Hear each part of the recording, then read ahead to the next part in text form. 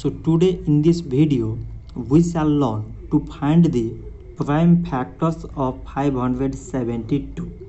So at last it contain even number 2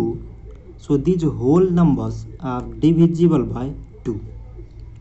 2 times 2 mean 4 remainder 1 and this 7 17 so 2 times 8 mean 16 remainder 1 and these two 12 so 2 times 6 mean 12 so again we have even number 6 at last. So it is divisible by 2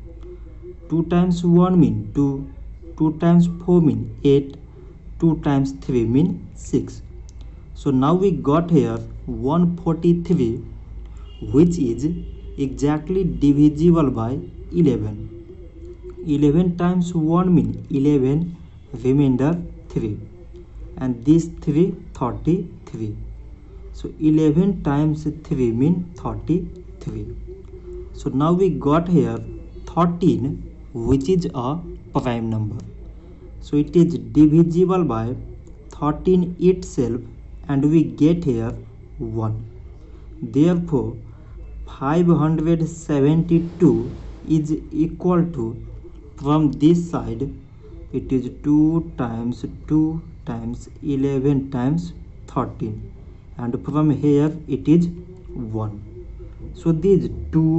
11 13 and 1 are the prime factors of 572 so this much for today and thanks for watching